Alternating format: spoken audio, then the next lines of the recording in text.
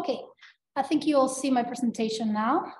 Um, yeah, so thank you so much. Oh, sorry. thank you so much, all of you, for being here, both uh, in person and online. And uh, thank you, Sylvia and Joao, for inviting me to uh, speak here in the joint seminar and seminar of the center, but also in the joint center, uh, seminar with the uh, Iberian Network. Um, I'm going to present something that's relatively uh, new for me. So it's the first time I'm presenting uh, this work. It's related to my previous work, but it's a part that I've been only working on in the last um, in the last few months. And um, it's entitled Mechanisms and Dispositions in Evolution, Lessons from Evo Devo.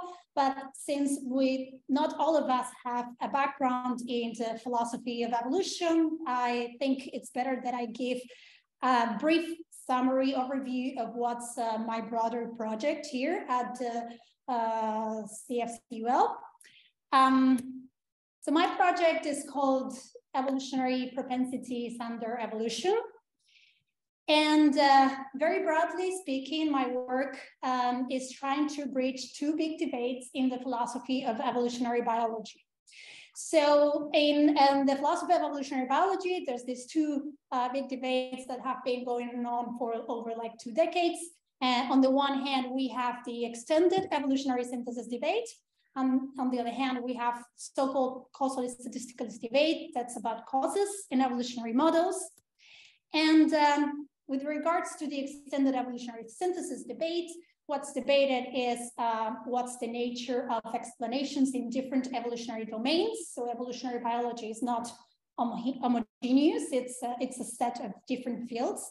Um, and also what's discussed, it's the level and the desirability of theoretical integration uh, within those or across those different disciplines that compose evolutionary biology.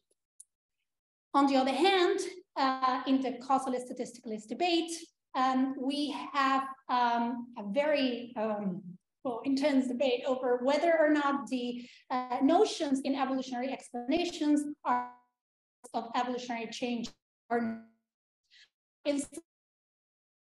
we all know a bit about um, is um, is it a cause of evolutionary change or is it an epiphenomenon that uh, emerges out of lower level causes.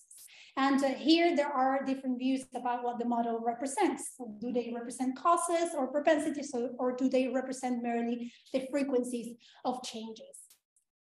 Okay, so for us to have a better idea of what the extended evolutionary synthesis debate is, here is a diagrammatic representation of um, of uh, the domain of evolutionary biology. And um, in the very center, we have three concentric circles. In the very, uh, in, in the smaller uh, circle, we have uh, uh, the combination of variation, inheritance, and natural selection. This is all that Darwin talked about uh, in his work. And this is the classical Darwinian view. but then in the beginning of the 20th century, this Darwinian uh, theory combined with the new theory of genetic in inheritance. So what we have in the so-called modern synthesis of evolution is a combination of Darwinian natural selection and genetic um, and Mendelian genetics. And we have there the models of population genetics, of quantitative genetics, et cetera, et cetera. This has been called the modern synthesis, and it's been ruling for years. And now the discussion is how to include other things that have been uh, growing around uh, uh, the, the classical uh, picture and that are not so uh, typically uh, combined in theoretical terms, uh, like Evo-Devo theory that I'm gonna be talking about, but also other things such as niche, construction, the idea of, of developmental plasticity or multi-level uh, ways of selection. Okay, um, curiously, the, the causalist statisticalist debate, the other one, has only been focused on the models of the modern synthesis, the models of the 20th century evolutionary biology. And what I do in my project is to try to apply those ideas, those discussions that are very familiar for most uh, philosophers of, of evolutionary biology to the broader discussion about whether or not we should extend the synthesis. And in particular, uh, um, it, with regards to evo-devo. So what are classical models and what are evo-devo models? Um, here um, uh, we have our representation of the three levels at which we can uh, describe uh, a population evolving. Uh, we have the genotypic level, the level of the genes that uh, represents what's inherited. Um, we have the phenotypic level, which is the level of, of the morphology that we have. So we don't, uh, um, which is actually what selection sees. Selection doesn't see, uh, this is always metaphorical, of course, but selection doesn't uh, um, see directly the genes, uh, it sees our phenotypes. And then we have the survival value, both of the genes and of the, of the phenotypes. Okay, so the classical models, uh, we have two different times, they use different combinations of these things. They, they, they focus on, dif on different levels uh, um, in, in this layer representation of populations. On the one hand, uh, the models of population genetics, they map genes directly to fitness. So they assign a fitness level to the genes composing a population.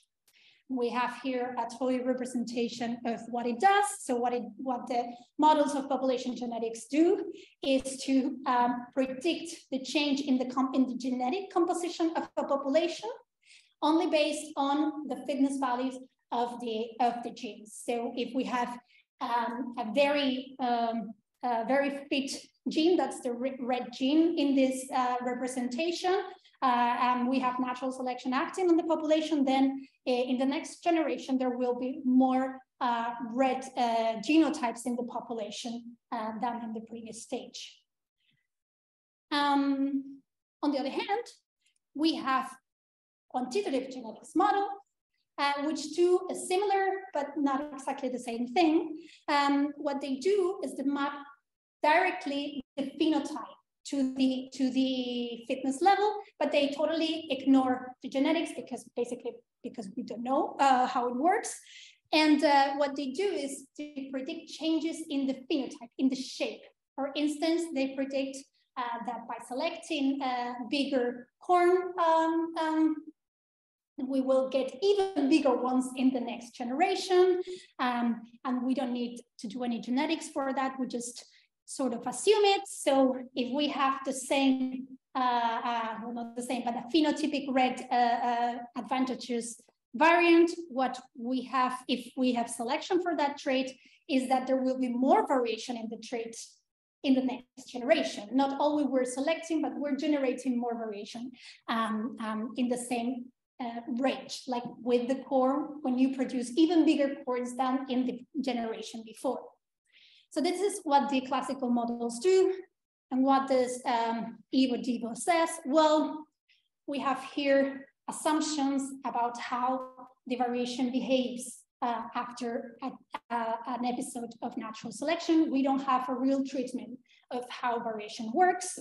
And um, evo-devo, with regards to this, mostly focuses on the so-called problem of variation. We have uh, on the one hand, direct mapping from genes to fitness, on the other hand, direct mapping from, from phenotypes to fitness, but we never have a real knowledge of how genotype and phenotype uh, uh, do relate. So evo-devo is the short for evolutionary developmental biology.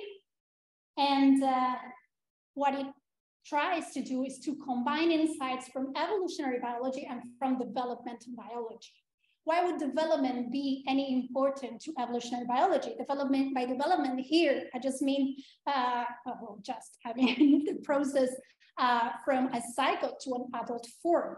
Um, why would this process matter? Well, because it is the process that links the genotypes that are inherited with the phenotypes that selection sees. So the, the point in evo-devo is that knowing how that process works, knowing how the development of multicellular organisms work is important for understanding how variation is generated uh, in each uh, uh, episode of natural selection.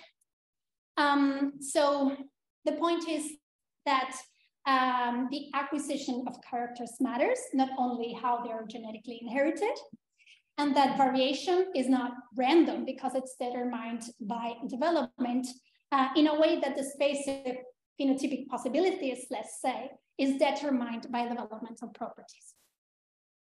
Okay, so getting back to the broad uh, uh, picture of my project, what I intend to do is to expand the causally statistically discussion that's only be fo being focused on uh, uh, modern synthesis previous models to the Evo-Devo discussion over evolutionary variation. I believe it's a fruitful way to understand the challenges that Evo-Devo uh, uh, means, but we don't need to go into much detail there. This is just the general framework that I wanted uh, uh to present.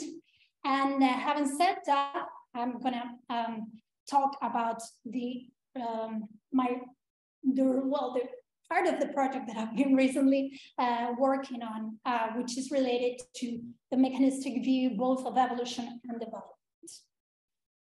Okay, so this is an outline of the things I'm gonna be talking about. Excuse me. so I'm gonna present the problem of evolutionary causes and how evo interest is seen. And then I'm gonna talk about mechanisms in development, in evolution, and the way they're usually seen in Evo-Devo. And finally, uh, uh, at the end, I will give a different perspective of how to understand Evo-Devo causes, not only in a mechanistic way, um, um, that I believe is a bit more fruitful um, for understanding the, the uh, connections between evolution and development. Okay, so evolutionary causes. Evolutionary causes are um, usually talked, um, referred to as ultimate causes. This is this dates back to Ernst Mayr, who in the 60s um, um, separated or talked about two separate domains of biology. One is the proximate domain, and the other is the ultimate domain. And the proximate domain uh, um, questions has questions about how uh, um, biological systems work. So the example Mayr used is the migration of birds. So the domain of so-called proximate or functional biology um, asks things such as how do birds do, uh, migrate? What are the mechanisms underlying uh, their migration? So there are physiological causes, there are causes that have to do with their, their ecological um, um, relations, and uh, we can and, and we can talk about those causes in mechanistic terms. But when one asks why do they migrate, we're asking something different. We're asking what's the evolutionary story of that trait? Why is it that birds migrate rather than not migrating? Why are they doing that? And um, for explaining these things, we don't use so much mechanistic explanations. We use explanations in terms at Mayr's time in terms of forces. This has been very much debated, but the idea is that they're different from the proximate um, causes. And these forces um, are natural selection, are evolutionary uh, genetic drift, are mutations, and air migrations. Why does Evo-Devo evolutionary developmental biology pose a challenge to this idea? Well, because it's, it talks about how approximate cause has an effect in evolution. It talks about a reciprocal causation between proximate uh, mechanisms and evolutionary changes. Um, another, I think, more intuitive example is uh, also the field of niche construction, where, where the very organisms build their own niches affecting their selective pressures. So they're not um, only uh, passive to the environment, but with what they do, with their proximate causes, their own mechanisms, they affect also their own evolutionary fate. Um, and with uh, development, we can see it uh, with this idea of causal completeness. If we want to have complete causal picture of how evolution takes place, we need to consider development. Why? Because in order to achieve a modification in the adult form, evolution must modify the embryological process. responsible for that form. Therefore, an understanding of evolution requires an understanding of development. Uh, a quote from Ron uh, Amundson, a historian and a philosopher of Evo Devo. So what we have with Evo Devo is a different type of explanatory abstraction within this causal complete story of evolution. We can have the classical models uh, focusing on the phenotypic level or on the genotypic level. Um, but Evo Devo focuses on an intermediate level, on the level of how uh, genes relate to phenotypes. And it asks this, the question about how do these developmental processes change in evolution. And uh, something that evo biologists do is comparative developmental biology. So how um, do we see instantiated the same developmental processes uh, or mechanisms in different species? And they also use their data for phylogenetic uh, uh, reconstructions. So developmental data is very useful for understanding uh, the phylogenetic relations of, of, between species for constructing the tree of life. Um, and the curious thing is that uh, in theoretical treatments of Evo Devo or advocates of Evo Devo, because that's another story, but it, it, it, there's kind of like a part between uh, Evo Devo is like um, more classically inclined people. Um, but in theoretical defenses of Evo Devo, um, there are two uh, factors that usually go by hand and that sometimes seem like the two faces of the same coin, which is that Evo shows development as a causal factor in evolution, and also that Evo is a mechanistic science as opposed to classical evolutionary biology. So what I'm doing now is to, to uh, ask myself this question. Are these two claims that usually go together actually related? In other words, is it the mechanistic nature of Evo Devo that brings, uh, uh, uh, that shows that development is a causal factor in evolution? Okay, to to answer that, that question, we need to talk a little bit about mechanisms. So mechanistic explanations are explanations in terms of the decomposition and recomposition of a system. So we have a system that we define functionally by the phenomenon we want to explain. And the thing is that we decompose that system into the relevant entities and the relevant activities that those entities engage in for explaining the, the phenomena um, um, in question. So in this uh, diagrammatic representation, we have the depiction of the mechanism at the lower level, um, and we have uh, uh, specific lower level entities combined or, or, or engaged in different activities among each other. And then we have at the higher level the phenomenon that these activities are um, explaining. And um, the classical idea about mechanisms is that um, they are nested in a hierarchy. So we have higher level mechanisms and lower level mechanisms, and these lower level mechanisms are the components entities of the higher level uh, uh, mechanisms. And uh, there's also this uh, um, idea that there are different relations uh, uh, when it comes to levels. Um, so on the one hand, we have the relation of causation between entities in the same level. So at the bottom level, we have three different entities uh, sequentially in the in the picture in, in the slide I mean. Um, um, and we can talk about causal relations uh, between those elements. Um, but then when, when it comes to relate those elements to uh, uh, the higher level, um, the relation is not causal, it's compositional. So the causal relation is temporal and the uh, compositional relation is not temporal. It's just uh, synchronic and uh, across levels. Okay, is developmental biology a mechanistic science? Excuse me. Okay, so developmental biology works by um, um, identifying developmental entities such as gene products, proteins, transcription factors that work in the developmental process, extracellular components, extracellular matrix, environmental inputs, uh, mechanistic components like mechanical stresses of bioelectrical potentials. These are entities recognized in developmental biology as entities, um, excuse me, as components of, of um, development.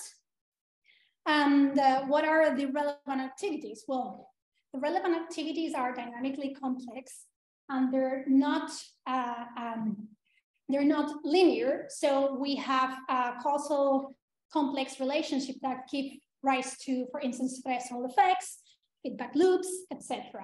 So what's uh, been argued in the literature is that actually uh, developmental kinds of explanations show that this causal constitution distinction is not so clear and that at least in the case of development, uh, the relation is not um, either vertical or horizontal, but a bit of diagonal. And uh, here we're going to see it. Um, so the, the idea is that in developmental explanations, there is causation across levels, for instance, uh, between um, a lower level um, entity at time one and a higher level entity at time two. And toy example is a gene regulatory network at the um, uh, early stages of development and the final phenotype that it explains. Um, this is related to the so-called hybrid nature of development. Um, developmental mechanisms are, on the one hand, cellular and physical, and on the other hand, they're molecular. So there's these different levels of, of um, developmental mechanisms. And one could think that this is just uh, the classical problem of nested mechanisms. So there are different levels and that's it. Um, but the fact is that there's no real correlation or not complete correlation um, between the lower level and the higher level, and not in the sense that it's usually the case, not in the sense that the lower level varies more than the higher level, but the other way around. The, the higher level varies more than the lower uh, level. So have here that cellular physical mechanisms of development, such as tissue level, mechanical forces, etc., vary more for a species than the molecular mechanisms supposedly composing and causing, if we have uh, this uh, diagonal uh, relation, um, then no composing those mechanisms. So is uh, developmental biology a mechanistic science? depends on the criteria one has for, for what it means to be a mechanistic science, but we can say at least that they use mechanistic leading explanations because they identify relevant developmental entities such as uh, genes. Uh, this is the uh, a representation of the developmental model for, for flower formation, for the individuation of flower organs. And we can see how the relevant uh, gene products are identified. Uh, we also have the activities identified, the relation between those entities and uh, the organization. Okay, so fair, it's fair to say that it's uh, uh, in a way a mechanistic science. How about evolutionary mechanisms? Well, let's get back to this uh, discussion about from between statisticalists and causalists. okay, statistically say that evolution is a purely statistical phenomena and that the explanatory concepts evolution uses are statistical, like natural selection, and causalists say, well, quite the opposite, evolution explained in causal factors. Um, the explanatory concepts in evolution are causes, selection and drift are causes. And uh, what this means is that uh, statisticalists believe that the only causes relevant for evolution are at the level of individuals, not at the level of populations. Here we have again the level relations, uh, the complex level relations, but um, let's say that statisticalists um, uh, claim that the only causes we can talk about are mechanistic at the level of individuals, including developmental mechanisms. Causalists um, um, would say that the causes of evolution are acting at the population level and they can be found in um, statistical models. So for statisticalists, the extended synthesis, EvoDevo included, is the only one that can bring causal uh, uh, material to evolutionary biology by introducing these individual level mechanisms. And while for causalists, causalists, classical evolutionary biology is already a causal theory. So statistically, um, like this, well, at least two statisticalists, Pigliucci and Kaplan, for which are, I, I, didn't put references in the pictures, that's very wrong of me.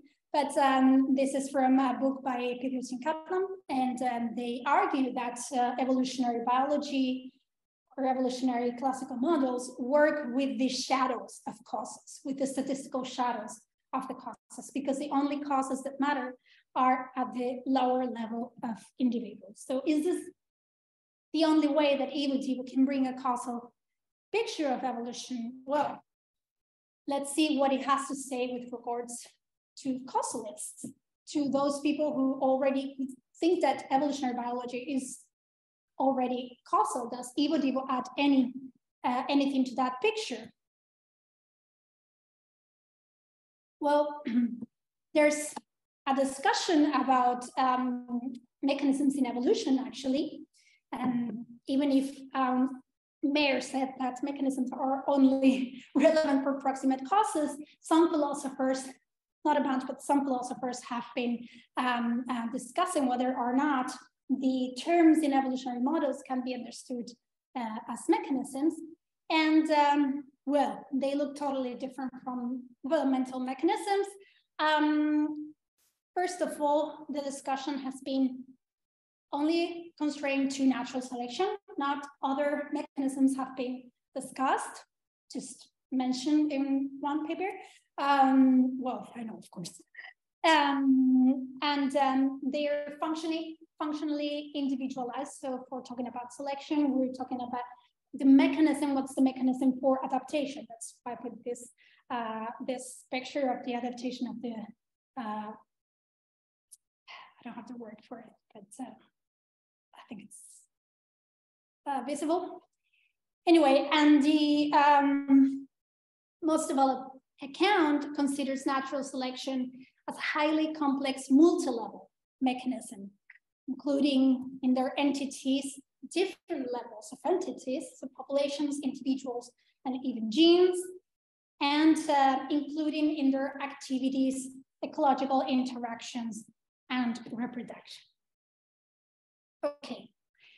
But the thing is that evolutionary biology um, doesn't provide mechanistic explanations. It doesn't explain by composing oh, that should say decomposing, sorry, decomposing and recomposing um, um, the elements of, of, of, an evolving system. Um, it explains by other means, by statistical means, and uh, mechanisms are just a way to interpret the factors in statistical explanations, but not uh, a way of interpreting the explanations themselves. Um, so the question to raise here um, uh, from the point of view of the synthesis of EvoDevo is, are other populational level factors mechanisms too? Can development be included there?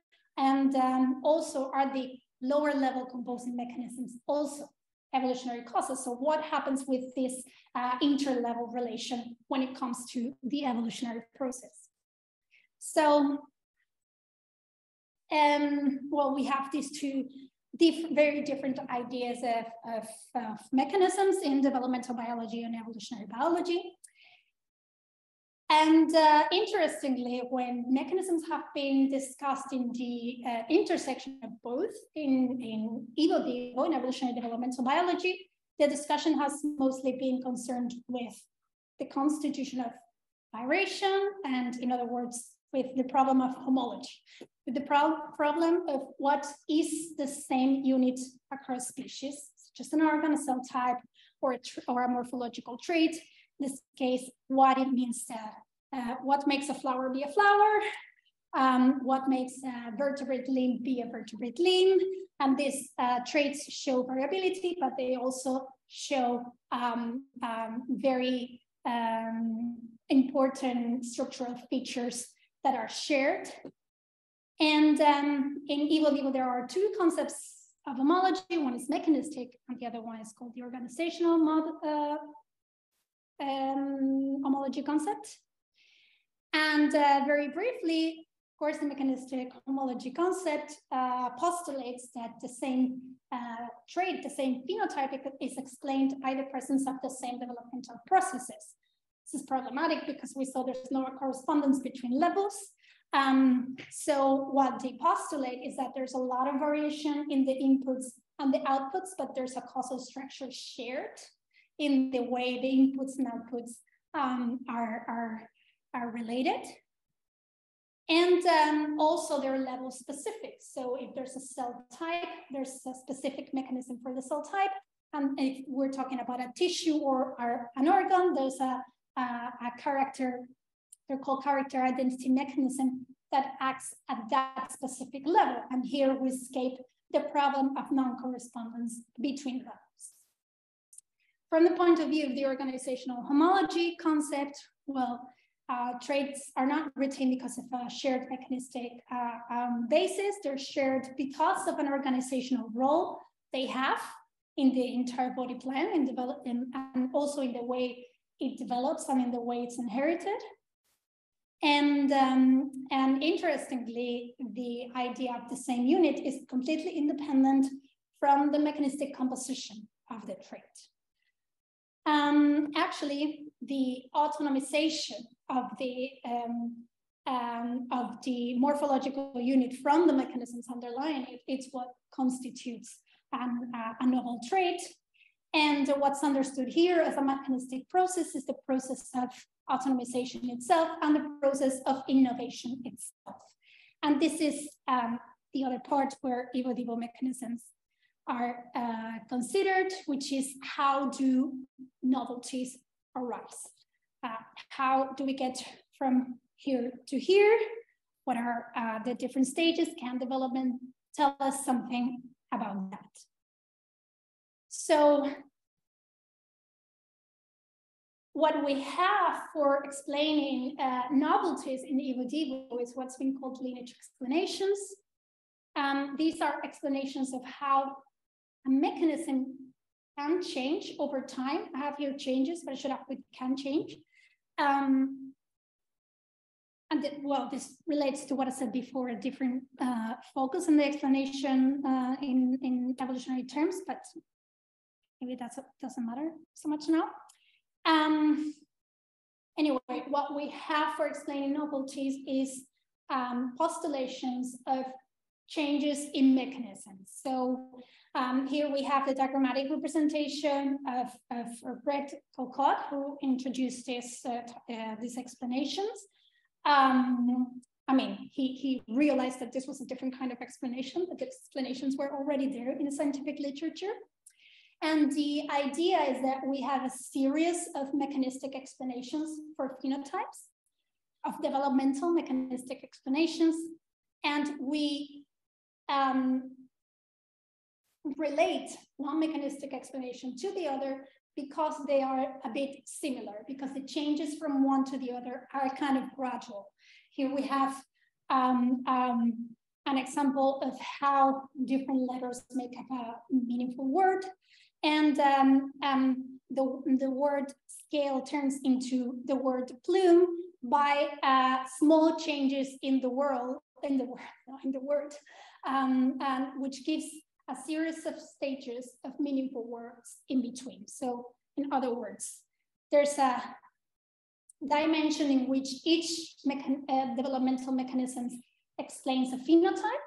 So each um, set of words uh, builds up a word, a meaningful word, but there's also a continuity requirement, a continuity dimension, that is that one mechanism to the other can only change very gradually, very, very little. So that is plausible that one mechanism turned into the other. But here we don't have a mechanistic explanation of how these changes occur. We just have a series of stages that are mechanistic independently and a criteria for relating one to the other. There's several mechanistic explanations. This is so, this is what we have in uh, uh, discussions over evo-devo mechanisms. So, um, of course, simplifying, but have to say it all. Um, so we don't have a real combination of developmental mechanisms with higher level evolutionary processes. We just have um, individual mechanisms and plausible changes and plausible ways in which uh, the different mechanisms constitute a character or, or other. So we have a kind of evolutionary view to developmental mechanisms, but we don't have an interaction between the de developmental mechanisms and the evolutionary causes. And um, I would call this, um, um, this is of course arguable, um, a compositional rather than causal relation between development uh, and evolution.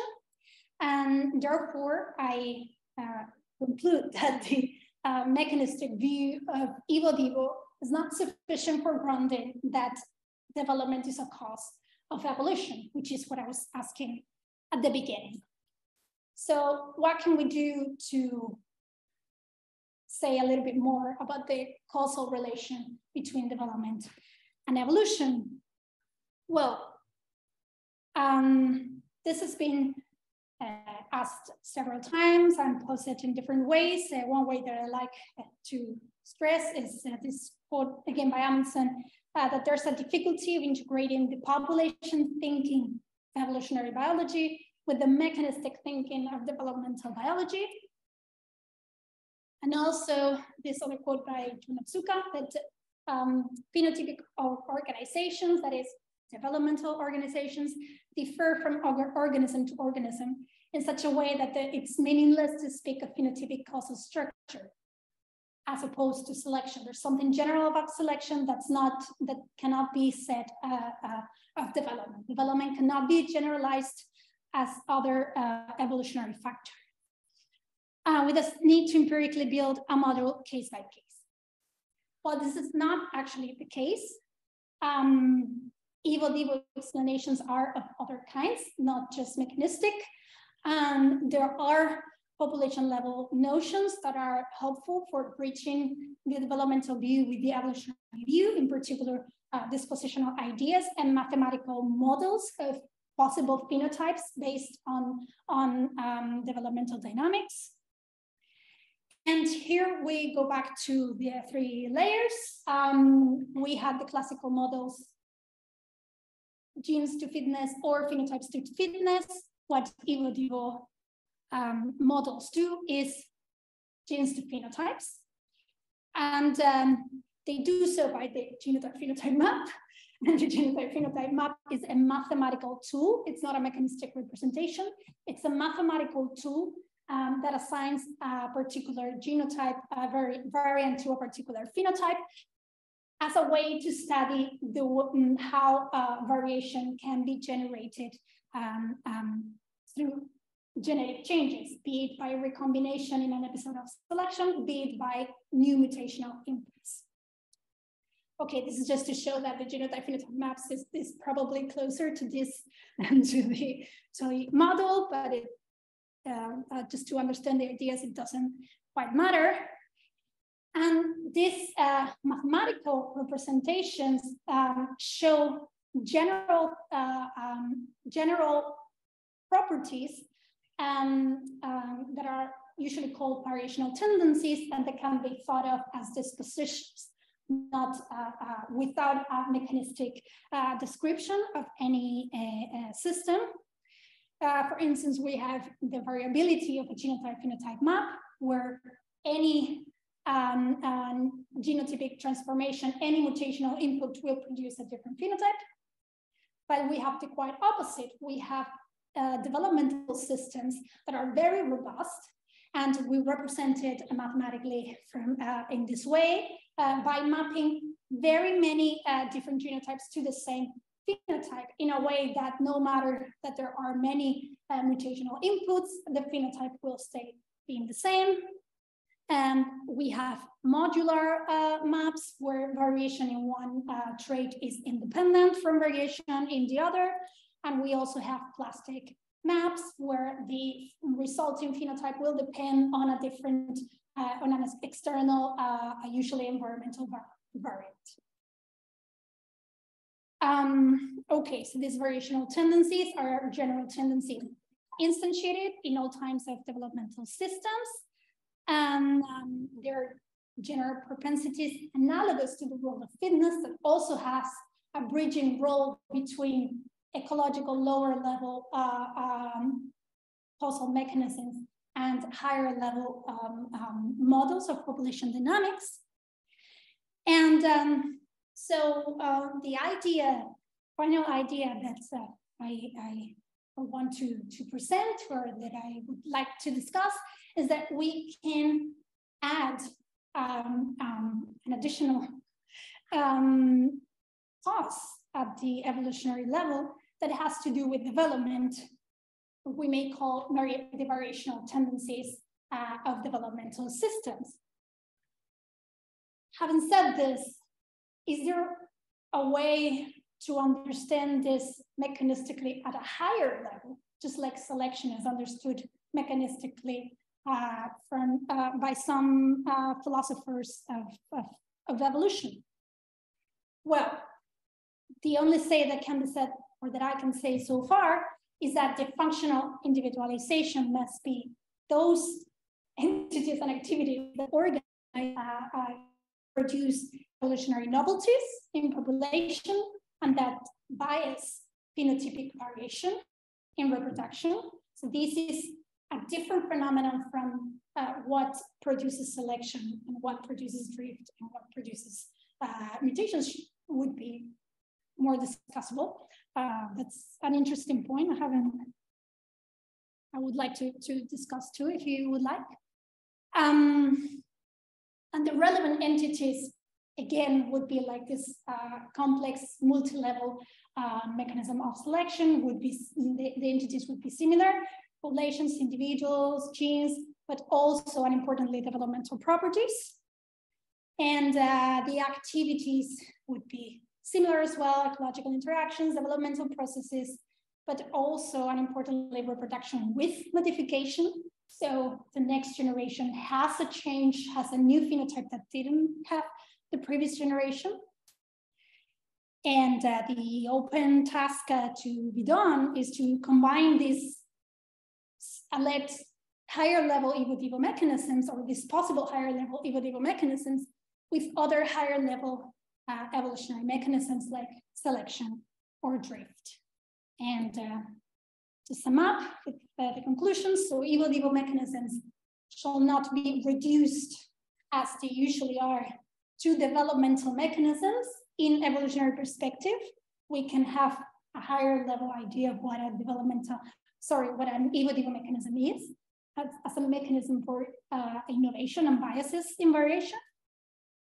And uh, also dispositional and mathematical approaches to in evo enable a bridge with evolutionary, with more classical evolutionary explanations, and uh, that uh, the causal role of development, I believe, doesn't follow from the uh, classical mechanistic view of evo at least. The two main uh, contributions, the causal view of development, sorry, the causal role of development, the um, mechanicism are not uh, directly related. The one doesn't follow from the other. And the agenda of Vivo needs to integrate mechanistic thinking with dispositional and mathematical explanations too. That's it. Thank you.